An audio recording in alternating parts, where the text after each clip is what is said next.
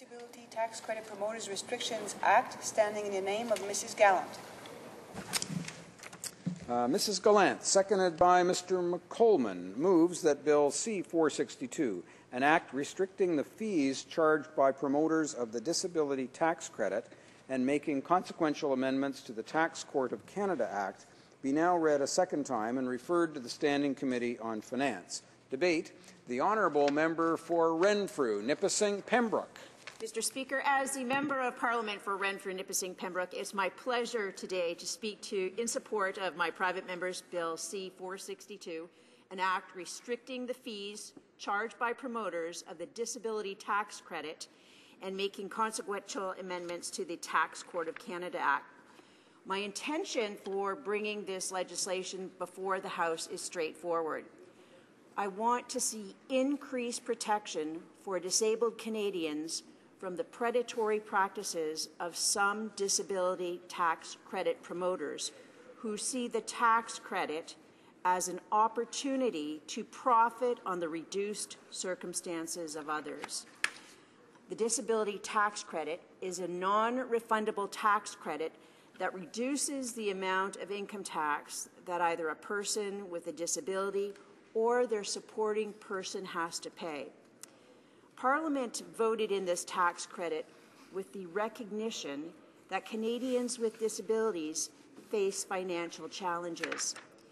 Canadians may be eligible for the disability tax credit if all or substantially all of the time they are unable to perform one or more of the basic activities of daily living, even with therapy and the use of appropriate devices and medication. Basic activities of daily living include things like speaking, hearing, and eating. The wide array of disabilities eligible under the disability tax credit is important. As the Member of Parliament for Renfrew Nipissing Pembroke, which includes CFB Petawawa, I'm acutely aware of the number of disabilities that Canadians are living with. The soldiers and veterans of my community are at a greater risk for a number of disabilities because of the sacrifices they make for our country, and the tax credit is of particular importance to them. For the average Canadian, the maximum federal amount that could be claimed last year was $7,341. This resulted in a maximum federal tax savings of up to $1,101 for 2011. This is significant tax relief for Canadians living with a disability, and that money should be staying in the pockets of Canadians who need it. It should not be swindled away by unregulated promoters. This tax credit is important to them. My decision to introduce the legislation restricting the fees charged by promoters of the federal government's disability tax credit is a direct result of the aggressive tactics employed by some providers who objected to my decision to issue consumer alerts. I started issuing consumer alerts last year in my writing when I found out that some individuals were being charged 20, 30, or as much as 40% of the tax credit.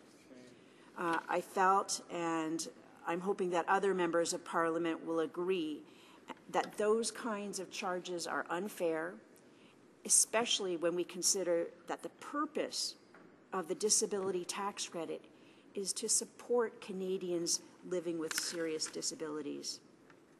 I wanted my constituents in Renfrew, Nipissing, Pembroke to know that they can access their federal member of parliament regarding any federal tax credit without being charged a percentage of the tax credit. Changes were put in place in 2005 that made benefits receivable on a retroactive basis. This created a new incentive for those claiming to be consultants to work with Canadians on their claims as the dollar amounts on a 10-year retroactive tax refund can be significant. I started to get a sense of how big an activity this whole tax credit promoter scheme is when a promoter complained about my consumer alert by telling me that he had spent $25,000 on booking space, hotel rooms, and media coverage, and he expected to make his money back after driving the 905 kilometers to my rural eastern Ontario riding with his traveling roadshow. His complaint was, How dare I tell the people to see their member of parliament and let them have all of the tax refund they qualified for with the, the disability tax credit. We're also not talking about a small number of Canadians, Mr. Speaker. The Canada Revenue Agency receives, on average, 200,000 new disability tax credit applications each year. It's estimated that approximately 9,000 of these requests are received from taxpayers who use the service of a disability tax credit promoter. Last year alone, nine, me, $800 million in credits were issued. I'm still receiving phone calls and emails with complaints from these promoters. Many of the comments I have received are along the line that they're just helping our government to promote the disability tax credit, and they deserve the fees they're getting. Mr. Speaker, I couldn't disagree more. There may be legitimate companies doing this work. Unfortunately, it's the less scrupulous operators that have identified the need for the legislation that I'm proposing today. I ask all members of the House to support Bill C 462. Concerns have been raised by medical professionals who feel they're dealing with an increasing number of fraudulent claims and have at times felt pressured to fill forms out fraudulently by constituents. I know this to be the case because doctors in my riding have told me that uh, this has been their experience. One doctor relayed the incident of having an individual sit in his office and refuse to leave until he filled out the disability tax credit certificate to get the tax credit. In the doctor's expert medical opinion, he insisted on being truthful when asked to complete the tax certificate. This same patient, who had been encouraged in this behavior by a disability tax credit promoter, was revealed to have visited four doctors previously looking to have the certificate completed in such a way as to qualify for the tax credit.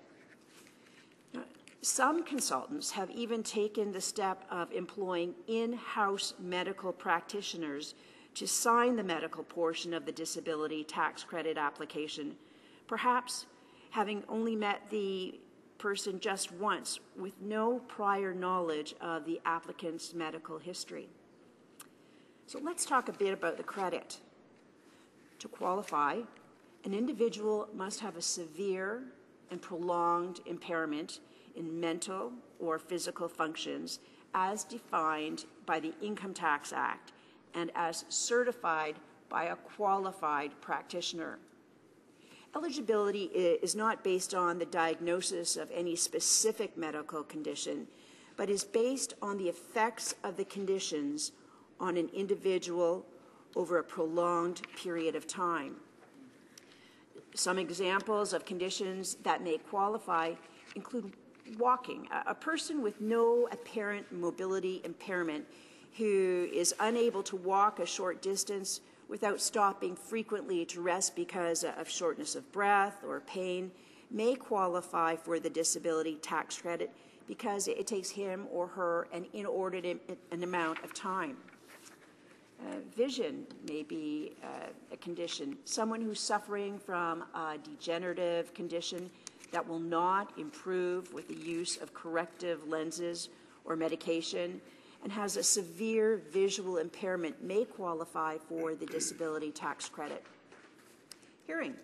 Uh, a person who, even with the use of a device, is unable to hear or who takes significantly longer than an average person who does not have an impairment to understand spoken conversation may qualify for the disability tax credit. Speaking. A person who, even with therapy devices, is unable to speak so as to be understood and must rely upon other means of communications, or who takes significantly longer than an average person who does not have the impairment to make themselves understood may qualify for the disability tax credit. This list is not meant to be exhaustive. These are just a few examples, and the information is gathered directly from the Canada Revenue Agency website. My intention in bringing the bill before the House is straightforward. I want to see increased protection for disabled Canadians from the predatory practices of some disability tax credit promoters on the one hand, and also contribute to a fair, functioning marketplace for those who do wish to use the services of a disability tax credit promoter. Bill 462 would provide a new legislative framework to limit the fees charged by promoters for the services of assisting applicants for the disability tax credit. In particular, the bill would restrict the fees that can be charged or accepted by promoters to prepare a request associated with the disability tax credit, the DTC, under the Income Tax Act. It would prohibit charging or accepting more than the established maximum fee and would introduce offenses and penalties for failure to comply. Bill 462 would introduce a requirement that promoters notify the Canadian Revenue Agency when more than the maximum fee has been charged. The provision of the bill into, will come into force on a day to be fixed by the order of the Governor in Council, at which time the proposed maximum fee will be made public. This is not an attempt to crack down on those legitimately claiming the credit or to deny claims. It's an attempt to make sure those who qualify and for those who require the tax credit are able to receive it without paying unfair charges. As the Member of Parliament for a rural Eastern Ontario riding of Renfrew, Nipissing, Pembroke, I understand, as does our government, that Canadians can have a difficult time making ends meet. And as a result, we offer a very generous range of credits. These uh, tax credits are a key component of our economic action plan, a plan for jobs, growth, and long-term prosperity that's working for Canadians as we face a, a global economic downturn. Examples of important credits include the Universal Child Care Benefit, the Canadian Child Care Benefit, uh, Children's Fitness Tax Credit, Children's Art Credit, Volunteer Firefighters Credit, First Time Homebuyers cre Tax Credit, Public Transit Tax Credit, just to name a few. These are all credits I encourage my constituents to take advantage of if they can, and to come to my constituency office and we'll help them apply, no charge. I've spoken to the minister, and to be clear, if you qualified for the disability tax credit, say in 2007 or 2008, and your medical situation is the same now as then, you will absolutely qualify for the credit. This is about protecting Canadians from predatory and unfair practices of unregulated promoters. This credit isn't intended to line the pockets of promoters. The disability tax credit promoters are currently totally unregulated. This is producing a system that's increasingly ripe for abuse. Lawyers charge contingency fees, but they're bound by strict codes of ethics, and bar associations carefully scrutinize actions to ensure appropriate professional ethical behavior. Perhaps most appropriate for today's discussion, tax preparers are guided by the Tax Rebate Discounting Act and capped at what they can charge for their service. An accountant can't take 20 minutes, prepare and submit your taxes, and then charge you 40% of your refund. Tax preparers also have a professional organization that promotes ethics and peer review of business practices. I chose not to set a maximum fee in the legislation because I wanted to allow for consultations with disability groups, medical professionals, and legitimate tax professionals to help inform this decision. I want to ensure to make that sure that uh, disabled Canadians who do need the help of someone with their applications can get it, and, are, and we are not imposing unnecessary red tape on doctors or legitimate, legitimate tax preparers. I note that there is a, a rate set in the Tax Rebate Discounting Act for accountants and, and, others that may be part of the discussion on the disability tax credit consultants. The rate uh, under the tax rebate discounting allows for a $45 fee on the first $300 and 5% on amounts above 300. This fee level is something I would expect will be uh, raised during the consultations. There are no similar accountability measures for the disability tax credit. Order. The, uh, the time uh, the time for the uh, the first uh, the first intervention, the first uh, speech is uh, now at its limit. We go to questions and comments. Question et commentaire. L'honorable député de the Honourable Member for Saint-Léonard, Saint-Michel. And um, I um, want to commend the uh, member for introducing the bill. I think it's uh, it's got a good idea.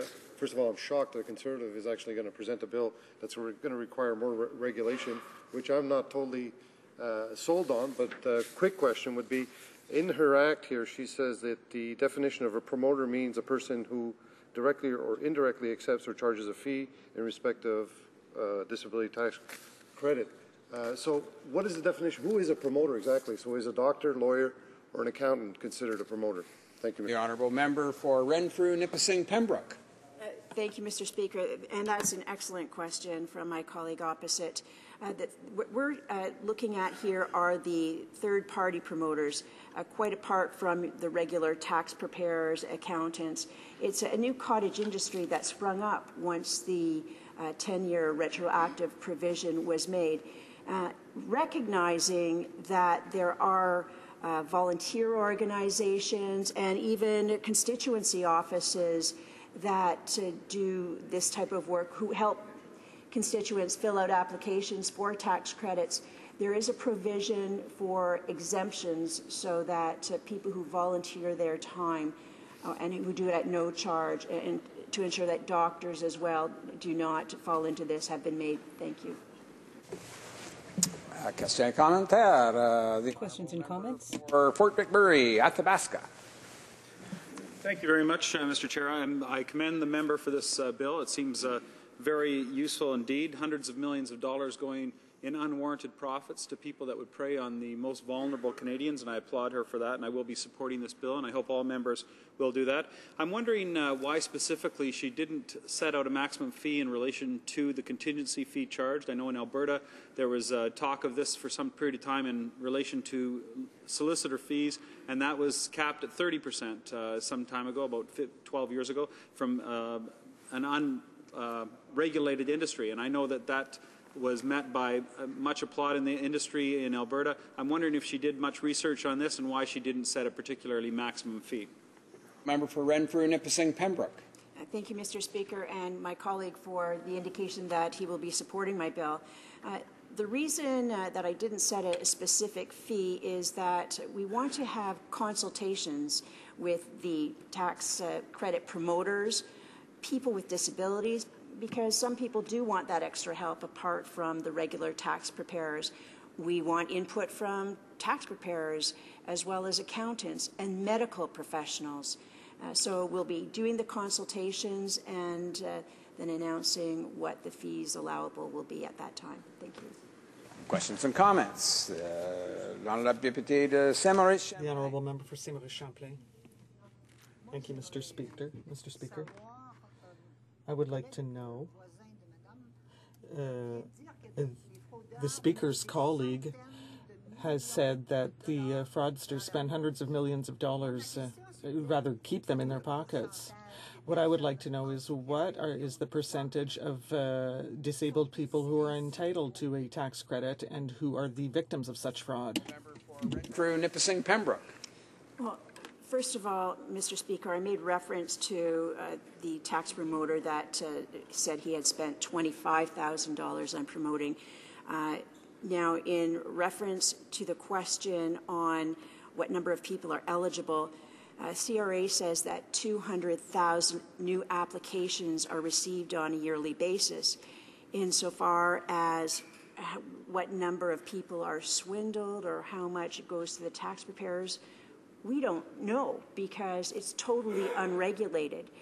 And that's why we're putting these provisions in place so that we can keep track and ensure that the tax promoters are being fair to Canadians living with disabilities. Time for uh, one uh, short question. The honourable member for Brant. Thank you, Mr. Speaker. I um, first of all I want to commend uh, my fellow uh, colleague on introducing this bill. Many of the people in Parliament actually have spent a lot of time with persons with disabilities, and of course, um, we quickly realize that they are the most vulnerable.